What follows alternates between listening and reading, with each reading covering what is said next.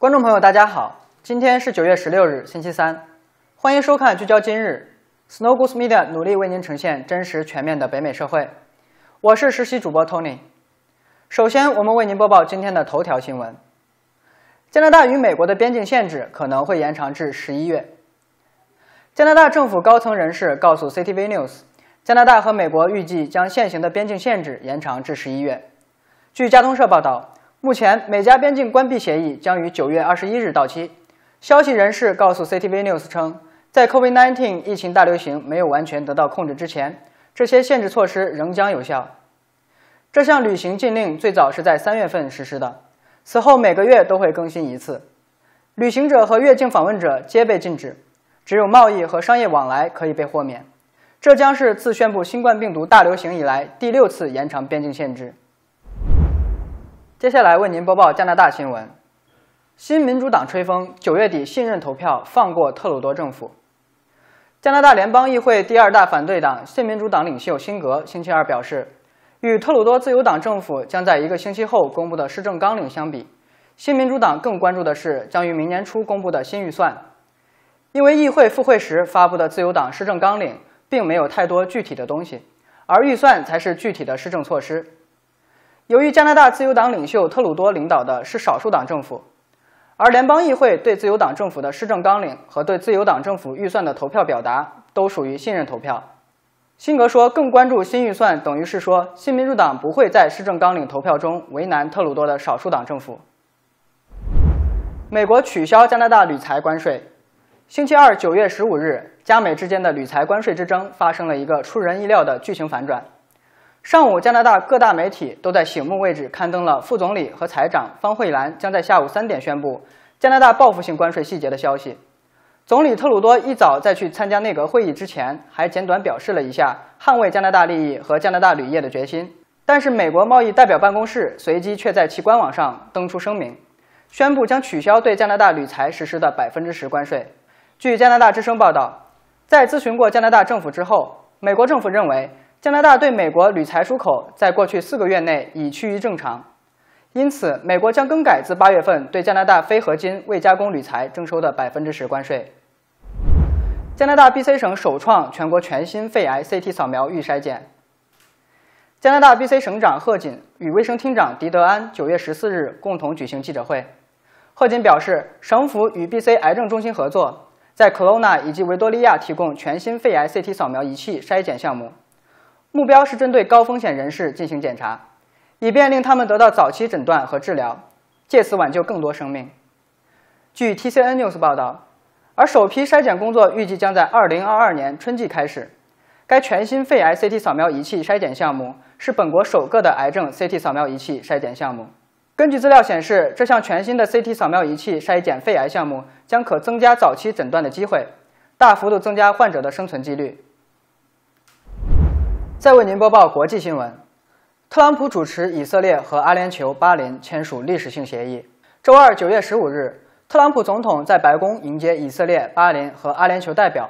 并亲自见证以色列分别与巴林和阿联酋签署关系正常化协议。此举标志着中东和平实现历史性突破。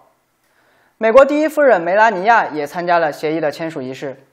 特朗普总统在仪式讲话中对以色列、巴林和阿联酋表示祝贺。以色列总理内塔尼亚胡在讲话中感谢特朗普总统在促成这些协议中的斡旋作用，并感谢巴林和阿联酋的合作，扩大地区和平范围。这些协议被合称为亚伯拉罕协议。协议的签署将使得以色列与巴林和阿联酋全面实现关系正常化，涉及各个领域，从空中旅行到设大使馆。菅义伟出任日本新首相。七十一岁的菅义伟。周三，在日本国会众议院以压倒性优势当选后，多次鞠躬。在投票的前一天，执政的自民党以压倒性优势选举菅义伟担任总裁，让周三的投票大局已定。在日本的议会制下，执政党的领导人通常会被选择出任首相。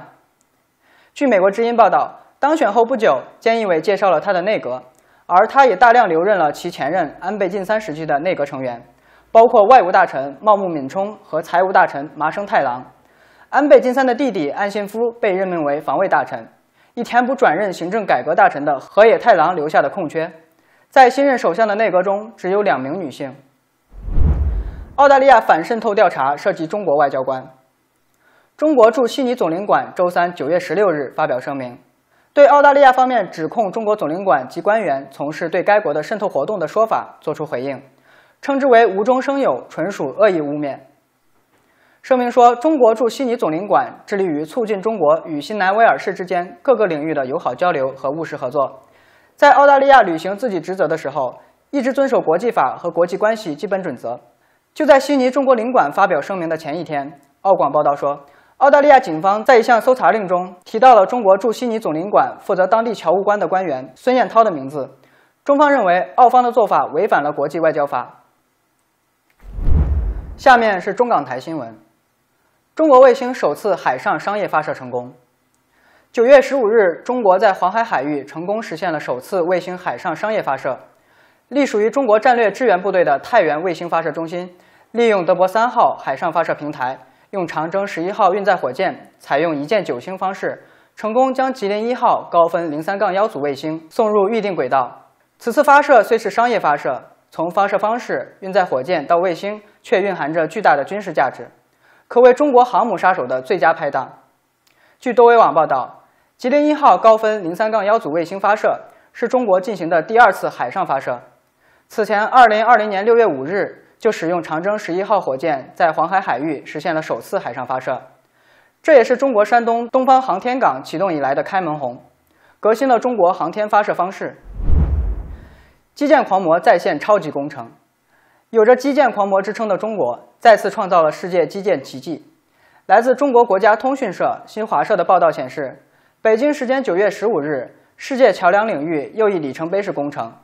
由中国铁建铁四院设计的新建福州厦门高铁泉州湾跨海大桥主塔正式封顶。据多维网报道，该高铁线路中的泉州湾大桥全长二十点二九公里，大桥有九公里跨越泉州湾中部海域，作为全球首座采用免涂装耐候钢的大型跨海工程，它是世界首座设计时速高达三百五十公里的高铁跨海斜拉桥，也是世界第四长跨海铁路大桥。最后为您播报一条娱乐新闻：宋丹丹女儿首位斩获金狮奖中国女导演。第七十七届威尼斯电影节前两天闭幕了，有两位出色的中国女性获奖，导演许鞍华获得了终身成就奖，还有一匹同样瞩目的黑马是今年三十八岁，在好莱坞已经小有名气的导演赵婷。赵婷凭借作品《无依之地》获得了最佳影片金狮奖，成为第一位斩获此奖项的中国女导演。她的另一个身份是演员宋丹丹的继女，但她从未以此光环营销宣传过自己。这次获得金狮奖，让赵婷成为继侯孝贤、张艺谋、蔡明亮、李安、贾樟柯之后第六位获此殊荣的中国导演。观众朋友，今天的新闻就为您简要播报到这里。如果您想了解更详细的内容，请浏览雪燕传媒的网页。观众朋友，明天再见。